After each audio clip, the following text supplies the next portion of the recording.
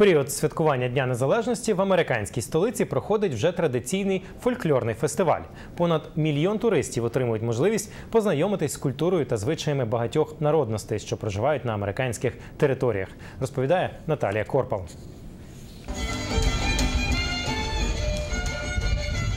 Ритми традиційної мексиканської музики маріачі.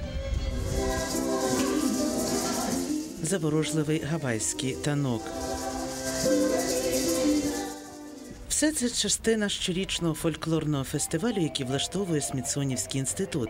Цього року наголос на творчості народностей американських територій в Тихоокеанському регіоні і мексиканському фольклорі. Директор Стив Кід розповідає про головну ідею фестивалю. В основі лежить переконання, що носії культури знають її значно краще, ніж ми тут в інституті. Тому ми привозимо їх сюди, і вони тут, у центрі Вашингтона, демонструють свої традиції перед глядачами, які віддають їм належне.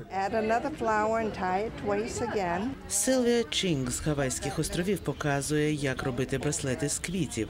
Вона говорить, що пишається своїми традиціями і прагне поділитися ними.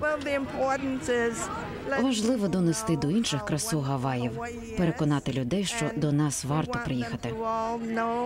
Стив Кід відзначає, що фестиваль приваблює тисячі іноземних туристів.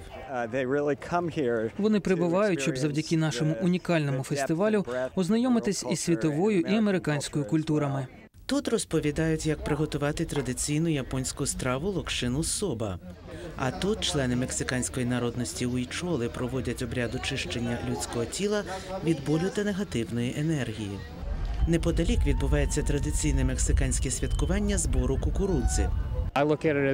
Я дивлюсь на це як на культурне спілкування. У такий спосіб американці і люди з інших країн можуть обмінюватися культурним досвідом. Організатори фестивалю наголошують, що завдяки цим заходам збільшується також і відвідуваність численних музеїв, які належать до Смітсонівського інституту. Наталія Корпал, Голос Америки.